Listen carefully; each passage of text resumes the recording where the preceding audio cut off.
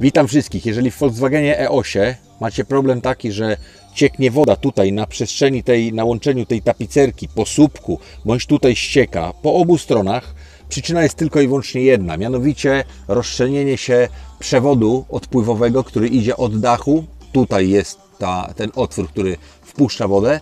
Kolejno tutaj przez ten łącznik gumowy taki jest ona połączona z wężykiem. I teraz tak, problem polega na takim czymś. Ten wężyk igielitowy jest zupełnie innego materiału fabrycznie zastosowany jak ta gumowa tutaj nakładka i z biegiem lat on jest zamontowany pierwotnie fabrycznie tylko tak, że tak powiem na wcisk. To jest ciaśniejsze, to jest luźniejsze. W dwóch miejscach jest to, nazwijmy to zgrzane, tutaj po bokach zgrzane.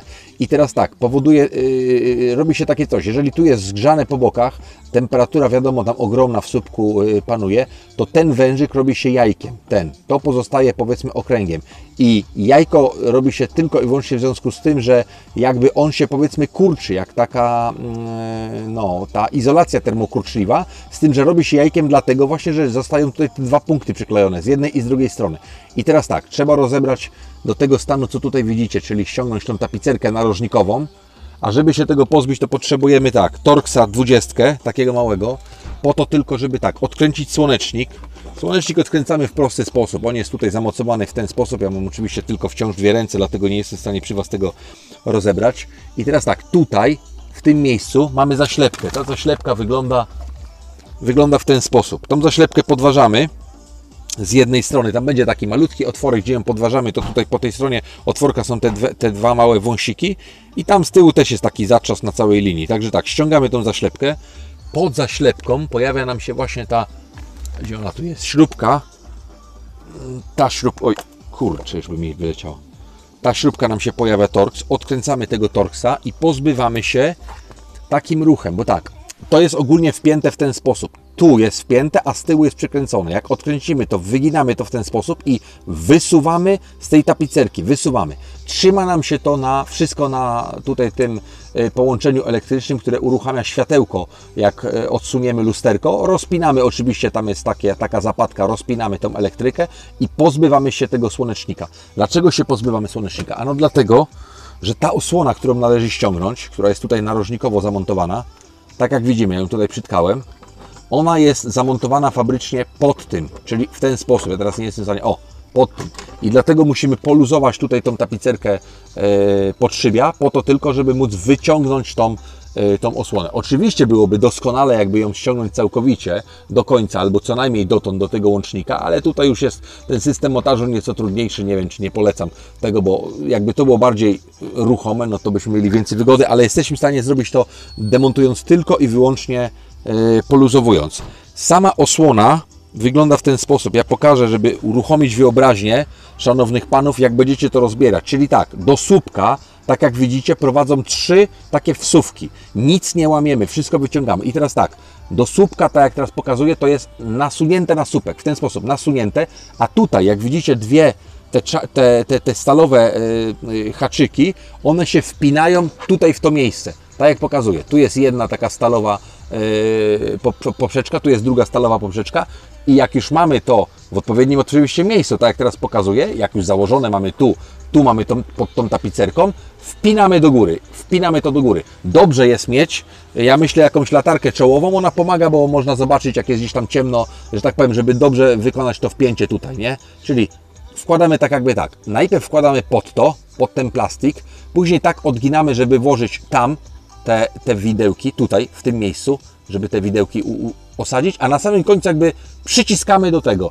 Efekt końcowy, z tamtej strony pójdę, żeby zademonstrować, ja już tutaj to wcisnąłem, bo po obu stronach u mnie wciekło. Proszę bardzo, efekt końcowy jest taki. Tutaj musimy uważać oczywiście na tę uszczelkę, bo to pod tą uszczelką jest y, usytuowane. No i to jest, to jest tylko i wyłącznie na wcisk. Tu tak jak widać, to jest wszystko przylega idealnie. Idealnie i to jest, o, tak jak widzicie, to pod szybie jest pierwsze, a pod spodem jest ten narożnik tapicerki. To już jest tutaj przymocowany. Słonecznik. Proszę bardzo, jak to wygląda, żeby, żeby tutaj Wam pokazać. Czekajcie. Widzicie to? O, tam podświetliłem. O, to, to jest ta zaślepka, którą się pozbywamy. Pod nią jest właśnie ten torks.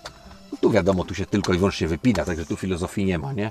No, z tej strony wygląda tak, ja to przed chwilką założyłem, a z drugiej strony tak jak widzicie. I to jest jedyna przyczyna jak leci woda yy, w E8, w Volkswagenie. Podejrzewam, że w innych Volkswagenach będzie to, yy, znaczy w innych, no jak w jakich innych w tamtych latach był tylko EOS z kabrioletem, ale nie wiem, może w młodszym i tak dalej. Tutaj mówię, problem polega na łączeniu, o ja może w ten sposób to pokażę, na łączeniu tego wężyka, no nie wiem z czego on jest, z jakiegoś czy igielitu, czy, czy z jakiegoś tak naprawdę, no niby guma, tak, ale ona jest inna od tej. Żeby był taki sam materiał, to podejrzewam, że to by się razem wulkanizowało, z czasem by y, funkcjonowało, a to widać wyraźnie, że to jest inny materiał, to jest inny. I mówię, tu na tym łączeniu, a nie powiedziałem w ogóle jak to, jak to naprawić, czyli tak, ściągamy to, bo to zsuwamy, to normalnie zsuwamy, to jest tylko i wyłącznie na wcisk na taką lekką y, kulkę, lekką gruszkę, powiedzmy, tak jak widać tutaj po kształcie, tak? Zsuwamy to, musimy śrubokręcikiem wąskim, jak to mieli już ściągnięte z tego, tu wyciągnięte, to żeby rozdzielić tą część gumową od tego, tak jak powiedziałem, w dwóch miejscach to jest zaczepione. Nie rozrywamy tego, dlatego że rozrywiemy najprawdopodobniej y, ten wężyk i będzie wielki kłopot wymienić go całego. Musimy śrubokręcikiem jakby po, tak lekko podważając, no, doprowadzić do pełnego odczepienia, żeby ten, ten element był osobny i ten osobny. Czyścimy oczywiście na, na tacy. Ja tu zastosowałem y, silikon, nie ukrywam, y, silnikowy wysokiej jakości, także to jak widać czarny, to on sprawdza się w 100%, bo już to mam sprawdzone. Jakiś czas jeździłem bez tych osłon, nic absolutnie nie cieknie. Jest to elastyczny silikon, także daje sobie radę nawet z jakimiś tam ewentualnie jak to pracuje.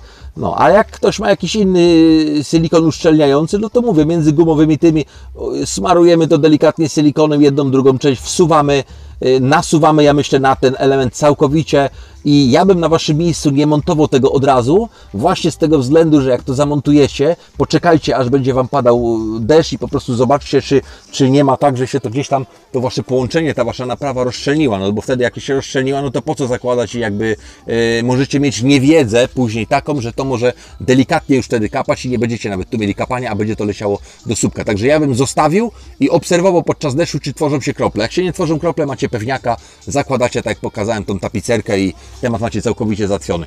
Jedyna usterka kapania, e, jeżeli chodzi o kapanie dachu. Poza tym e, samochód doskonały, jeżeli chodzi o szczelność i o ciszę w środku. Pozdrawiam serdecznie, wiadomo panowie, no macie tą łapkę w górę, macie łapkę w dół. Jak wam ulży, dajcie łapkę w, gór, w, w dół. Jak uważacie, że pomogłem, dajcie łapkę w górę. Pozdrawiam wszystkich serdecznie, pa!